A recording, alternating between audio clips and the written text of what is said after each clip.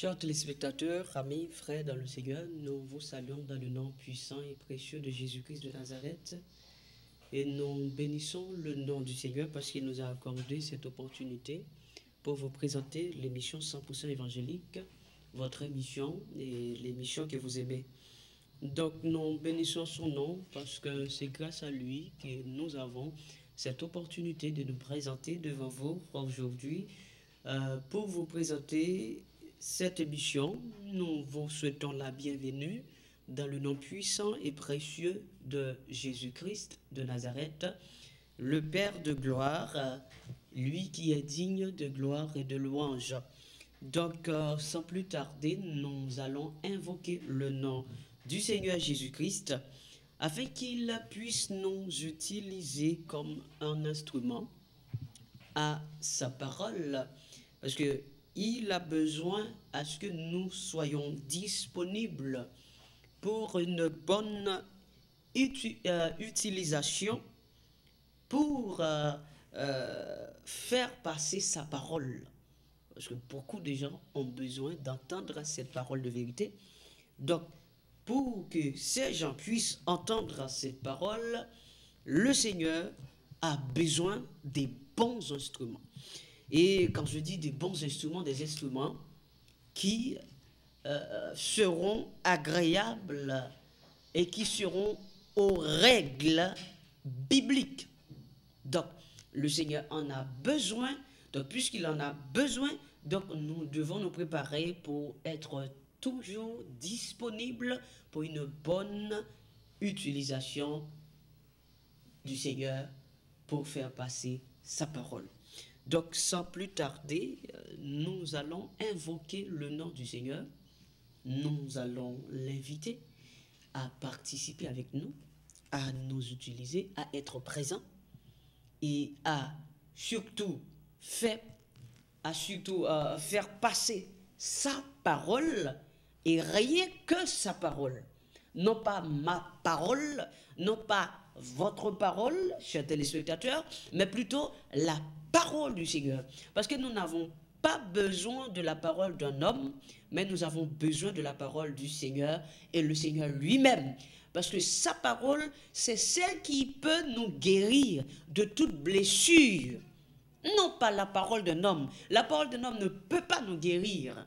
La parole d'un homme ne peut pas nous penser les plaies, euh, les plaire. Mais la parole du Seigneur, elle est universelle elle est, je dirais, elle est là pour guérir toutes sortes de maladies, toutes sortes de blessures. Et c'est pourquoi nous avons besoin de cette parole. Je sais qu'il y a des gens qui ont des blessures. Je sais qu'il y a des gens qui sont meurtris. Pas des situations, pas des événements, pas des expériences lamentables ou même abominables qu'ils ont vécu et qui ont encore besoin de cette parole pour une bonne guérison spirituelle. Si vous avez besoin d'être, euh, vous avez besoin de euh, la guérison physique pour le corps physique et euh, la guérison la plus indispensable, c'est la guérison spirituelle. Donc les blessures spirituelles, les blessures de l'âme. Donc nous avons besoin de cette parole. Et je vous invite vraiment à vous unir avec nous pour invoquer le nom du Seigneur, pour que nous puissions passer ce moment béni ensemble dans le nom de Jésus-Christ de Nazareth, le seul vrai, vrai, vrai Seigneur, au nom de Jésus. Amen. Nous allons prier ensemble. Seigneur, nous bénissons ton nom, nous t'adorons, nous t'exaltons, nous t'aimons, Seigneur. Merci parce que tu es Dieu, premièrement.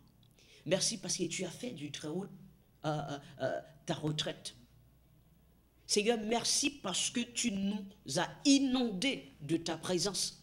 Merci parce que, Seigneur, tu nous as lavés de ton eau, de ton eau pure, Seigneur. Merci, Seigneur, parce que ton sang nous a purifiés. Merci, Seigneur, parce que tu nous as appelés à être saints, comme toi tu es saint. Merci, Seigneur, de nous accorder ces noms, assemblée des saints. Donc, quand tu dis assemblée des saints, cela veut dire que, Seigneur, cette assemblée, le Saint-Esprit habite dans cette assemblée. Le Saint-Esprit habite au sein de cette assemblée. Donc, Seigneur, tu as appelé cette assemblée l'assemblée des saints, église des saints, parce que le Saint-Esprit demeure. Seigneur, merci pour cette considération. Merci parce que même quand tu as dit dans ta parole, oh voici, je m'en vais et voici, je suis avec vous jusqu'à la fin du monde. Seigneur, tu es toujours là parce que tu es habité, tu as habité en nous. Tu vis en nous. Parce que ta parole a dit, je vis et vous vivez aussi. Seigneur, oui, tu vis et nous vivons par toi, Seigneur. Merci parce que tu es devenu notre vie, notre paix, notre joie. Et c'est par cette parole, par cette joie, par cette paix que nous pouvons respirer encore. C'est par cette joie, par cette paix que nous pouvons espérer encore. C'est par cette joie, par cette paix que nous pouvons dire gloire à toi, Seigneur. C'est par cette joie, par cette paix que l'ennemi ne nous a pas terrassés, Seigneur. Merci parce que tu es grand. Tu ne nous as pas laissé chanceler, Seigneur. Merci infiniment. Merci pour nos frères, nos téléspectateurs, tous les gens qui regardent et qui écoutent ceux qui aiment la parole de la vérité ou ceux qui n'aiment pas. Seigneur, bénis abondamment tous ceux qui regardent et écoutent l'émission en ce moment, Seigneur. Nous t'adorons, nous t'exaltons. Nous savons qu'il n'est pas aussi facile, Seigneur, d'accepter de marcher dans ta parole. Il n'est pas aussi facile. Parce qu'il faut, Seigneur, cet appel. Il faut cette vocation céleste. Il faut cet appel qui vient du Père. Oh Seigneur, pour que quelqu'un puisse marcher avec toi. Seigneur, nous voulons nous attacher à toi. Dispose notre cœur à la crainte de ta parole, à la crainte de ton nom. Seigneur, nous t'en supplions. Dispose notre cœur. Incline notre cœur devant toi. Incline notre cœur devant ton trône quotidiennement. À la seconde, à la minute, Seigneur. Car nous avons besoin de toi, Seigneur. Nous avons besoin de ta puissance, de ta grâce, de ton amour, de ton pardon, de ton sang, Seigneur. Aidez-nous, Seigneur, à ne pas piétiner ton sang qui a été coulé pour nos péchés. Aidez-nous de préférence, Seigneur, à honorer ce sang versé, à donner de la valeur à ce sang versé, parce que ce sang a été versé pour nous, pour nos péchés. Et c'est pourquoi tu nous as donné la vie, à nous qui avons accepté ce sang, qui avons accepté d'entrer dans cette alliance. Merci infiniment.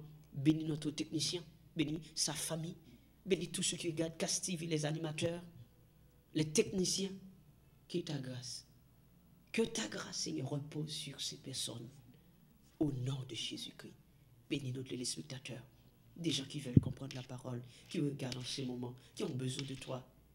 Permets à ce que ces gens puissent comprendre et puissent arriver à la connaissance de la vérité et puissent être capables de se positionner pour savoir, pour dire dans quel camp ils sont. Seigneur, nous avons tant besoin de toi. Et que ton nom soit béni, de maintenant et à jamais, au nom de Jésus-Christ. Seigneur, surtout, utilise-nous. Permets à ce que nous puissions dire ce que toi tu nous as attesté non pas ce que nous nous voulons dire selon nos pensées, mais selon ta parole. Au nom de Jésus-Christ. Merci encore et encore, Seigneur. Merci. Et que ton nom soit béni. De maintenant et à jamais. Au nom de Jésus-Christ. Amen. Et Amen. Chers téléspectateurs, encore une fois, je vous souhaite la, la bienvenue dans le nom puissant et précieux de Jésus-Christ de Nazareth, le souverain pasteur, le seul souverain Jésus-Christ de Nazareth. Il n'y en a pas deux souverains, il y en a un seul souverain. Donc, nous bénissons son nom.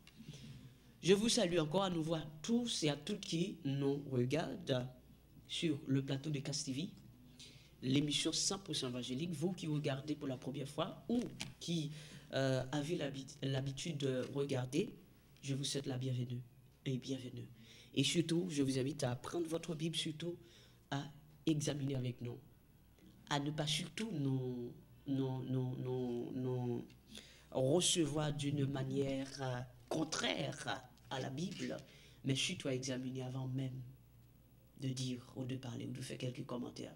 Nous sommes très, très, très, très ouverts à vous. Et si vous avez des suggestions, des critiques ou peu importe ce que vous avez, quelque chose à partager, nous sommes très, très ouverts à ce que vous puissiez, à vous, pour que vous puissiez vraiment appeler et partager ce que vous avez, ce que le Seigneur a mis dans votre cœur pour partager avec nous, parce que nous avons à apprendre l'un de l'autre. Donc c'est la parole. Mais ce que nous avons à apprendre, c'est la parole de la vérité, rien que la vérité. Nous n'avons pas à apprendre la, à, apprendre la pensée d'un homme. Non, mais nous avons à apprendre la parole, la parole de la vérité, un, un trait. Et tout ce qui doit être, doit être dans la parole, selon la parole et pour la parole. On est clair. Donc, bienvenue et vraiment que le Seigneur nous permette de passer un bon moment, euh, qu'il nous permette de passer un bon moment dans sa présence, dans sa parole ensemble. Donc, euh, dimanche dernier, nous étions, euh, nous avions passé quelques vidéos, surtout dans le but pour vous aider à comprendre et à surtout et remarquer que nous étions je sais qu'il y a des gens qui ne comprennent pas toujours que nous sommes à la fin de temps. Donc, c'est surtout pour montrer aux gens qu'ils étaient vraiment à la fin de temps. Donc, nous avons montré tant de choses qui nous montrent que nous sommes à la fin des temps. Et que nous qui disons que nous sommes chrétiens, nous devons nous préparer à l'enlèvement. Et c'est la raison pour laquelle aujourd'hui, le sujet, c'est plutôt tu mourras. Mais quand tu mourras, tu iras où? Quelle sera ta direction? Tu mourras. Peu importe ton niveau, tu mourras. Peu importe ce que tu possèdes, tu mourras. Je mourrai. Mais ce jour-là, j'irai où? Vous irez où? Parce que je peux comprendre, vous vous sentez confortable là où vous êtes. Vous avez un bon travail, vous avez une belle voiture, vous avez une belle femme, vous avez des beaux enfants, vous avez des ressources, des empires, des choses qui, qui vous permettent de vous sentir euh, comme si tout va bien pour vous. Parce que dès que vous avez les choses du monde, les choses de ce monde, vous vous sentez bien. Et c'est dans cette optique que vous pensez servir le Seigneur ou vous pensez que vous êtes normal, vous êtes à l'aise. Même quand vous n'avez aucune relation avec le Seigneur, mais dès que vous possédez les choses du monde, tout va bien. Mais quand vous mourrez, vous irez où? Vous irez où quand vous mourrez. Parce que comme je vous dis souvent, les hommes d'aujourd'hui n'ont pas pris le temps de consacrer leur vie au Seigneur, les chrétiens d'aujourd'hui. Parce qu'ils sont occupés. Parce qu'ils sont embarrassés ils se sont, enfin, ils se sont laissés capturer